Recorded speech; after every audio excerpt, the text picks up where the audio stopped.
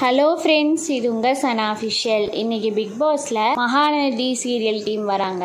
So Saravanan அவங்க கூட நிறைய பேர் வராங்க. இந்த சீரியல் வந்து புதுசாக ஸ்டார்ட் பண்ணுறாங்க நான் அதில் நடிக்கிறேன். இந்த சீரியல் பேர் இதுன்னு சொல்லி சரவணன் சொல்கிறாரு அப்போ பிக் பாஸ் வந்து வெல்கம் பேக் சரவணன் அப்படின்னு சொல்கிறாங்க அதுக்கப்புறம் அந்த சீரியல் லீடாக நடிக்கிற இன்னொருத்தவங்க மூவியில எல்லாம் வருவாங்க. அவங்க வந்து நானும் இந்த சீரியலை ஃபர்ஸ்ட் டைம் ஆக்ட் பண்ணுறேங்கிற மாதிரி சொல்கிறாங்க எல்லாரும் பார்த்துட்டு இருக்காங்க. அதுக்கப்புறம் அந்த சீரியல் டெலிகாஸ்ட் பண்ணுறாங்க எல்லாரும் பார்க்குறாங்க. ஜிபி முத்து ரொம்ப எமோஷனல் பண்ணுறாரு சரவணன்லாம் சமாதானப்படுத்துறாரு. ராஜியும் போய் கங்க்ராட்ஸ் பண்ணுறாரு சரவணனை.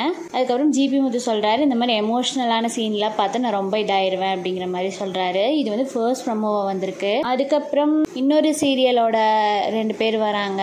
சிறகடிக்க ஆசை சீரியலில் அவங்க வந்து இந்த மாதிரி ஒரு ப்ராஜெக்ட் பண்ணுறோம் விஜய் டிவியில் லான்ச் ஆக போகுதுங்கிற மாதிரி சொல்கிறாங்க எல்லாருக்கும் அந்த சீரியல் பார்க்குறாங்க அதுக்கப்புறம் மசியும் வந்து பிக் பாஸ் டீம் சார்பாக நான் உங்களுக்கு வாழ்த்துக்கள் சொல்கிறோம் அப்படிங்கிற மாதிரி சொல்கிறாங்க அப்போ அந்த சீரியல் லீடாக பண்ணுறவர் வந்து பிக் பாஸில் இருக்கிற எல்லாத்துக்கும் மக்கள் சார்பாகவும் வெளியில் இருக்கிறவங்க சார்பாகவும் வாழ்த்துக்கள் சொல்கிறோம் அப்படிங்கிற மாதிரி சொல்கிறாங்க ஸோ இந்த ரெண்டு ப்ரோமோவும் பொங்கல் செலிப்ரேஷன் ப்ரோமோவாக தான் இருக்குது ஸோ இந்த ஒன் வீக் ஃபுல்லுமே எந்த ஒரு ஃபைட்டு எதுவும் பெருசாக இருக்காதுன்னு நினைக்கிறேன். ஒரே செலிப்ரேஷனாக தான் இருக்கும். பட் மறக்காம அன்அஃபிஷியல் ஓட்டிங்லேயும் உங்கள் ஓட்ஸை போடுங்க. அப்போ தான் யாருக்கு அதிகமான ஓட்டு இருக்குது அப்படிங்கிறது தெரிய வரும். Official Disney plus Hotstar ஆப்லேயும் உங்களோட ஓட் பண்ணுங்கள் மறக்காம அசீம் ஃபேன்ஸ் எல்லாம் அசீம் கோட் பண்ணுங்க. ஸோ இந்த வாரங்கிறது வந்து ரொம்ப இம்பார்ட்டண்டான ஒரு ஸ்டேஜ் மறக்காம அஃபீஷியலாக நீங்கள் கம்பல்சரியாக ஓட் பண்ணுங்க. அன்அஃபிஷியலில் நீங்கள் போய் ஓட் பண்ணுங்க. அன்அஃபிஷியல்லையும் விடாதீங்க. இன்னைக்கு நைட்டு டென் தேர்ட்டிக்கு தான் அஃபிஷியலி ஹாட் ஸ்டாரில் ஓட்டிங் வந்து ஓப்பன் ஆகும். டில் ஃப்ரைடே வரை இருக்கும்னு நினைக்கிறேன். மறக்காம ஓட் பண்ணுங்க.